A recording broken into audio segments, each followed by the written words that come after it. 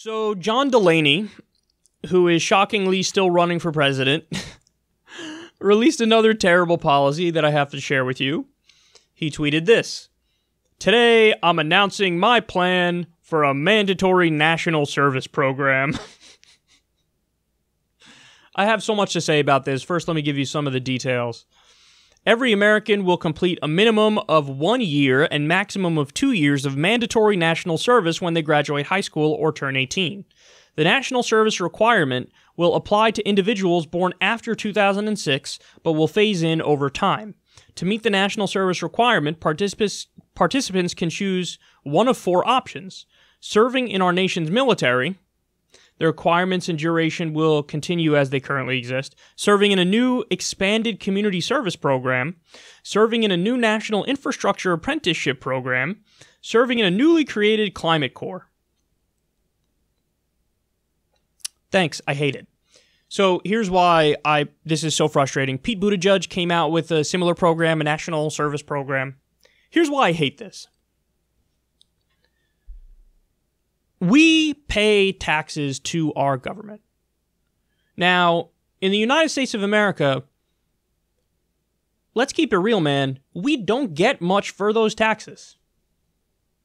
I would love it if we did. Some of the things we pay for, I'm cool with. I like Social Security. I like Medicare.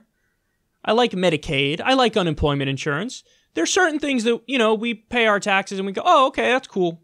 I like it that it's going to that. I'm I'm okay with that from a moral perspective, from an ethical pers- perspective, from a practical perspective. That makes sense to me. So much of our money, so much of it goes towards illegal offensive wars against countries that didn't attack us, drone strikes, empire building, Wall Street bailouts, um, pork barrel projects.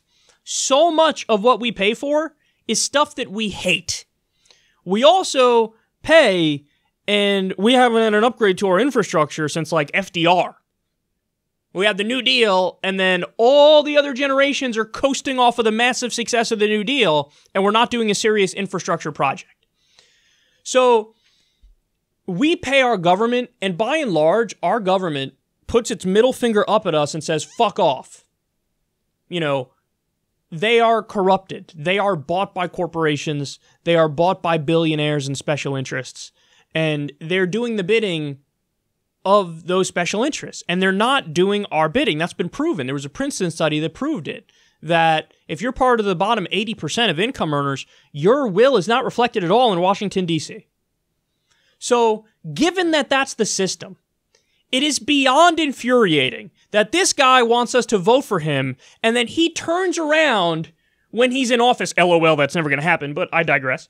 If he were to hypothetically, theoretically get in office, he turns around and he goes, okay, now I'm going to tell you what to do.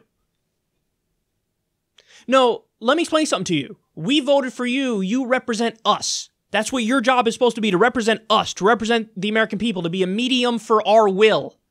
That's your job. That's what you're supposed to do. John Delaney flips it.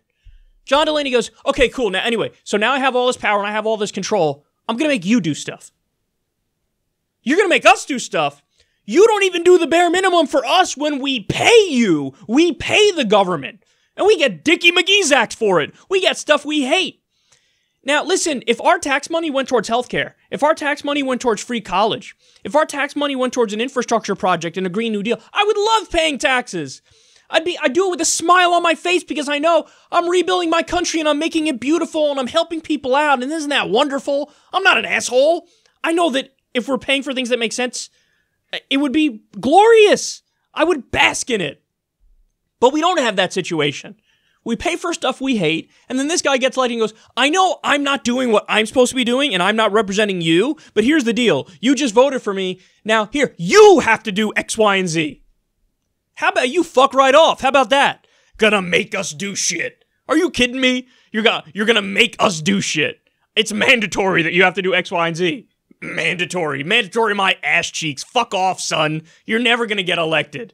Nor should you. Mandatory. I'm gonna make you take a year of your life and do what I want you to do.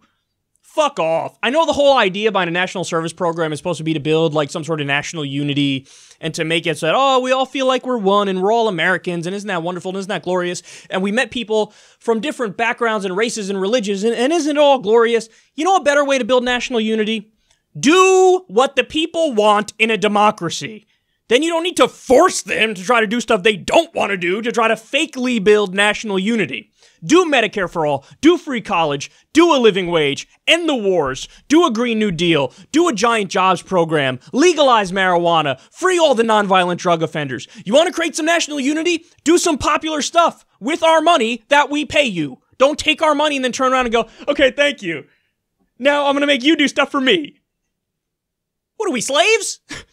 Sorry, I know you paid me and I know I'm not doing what you want me to do and that's my job, but you're, you're going to do what I want you to do. God, he's so smug.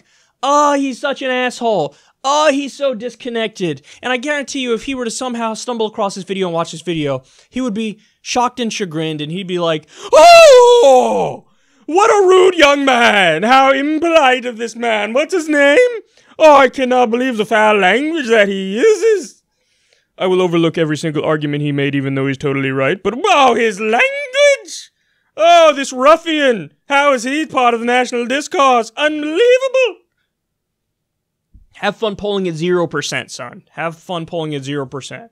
If you can go lower, you'd go lower. That's for sure. Nobody asked for this. Nobody wants this. He fearmongers about Medicare for all. Medicare for all polls at 70%. Let's poll your shitty national service plan and see what it comes out at, huh? How about that? Hey, like them apples. You want to do that?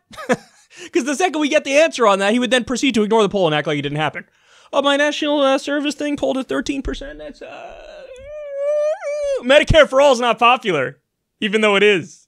I'm John Delaney. I don't know why I'm still in the race.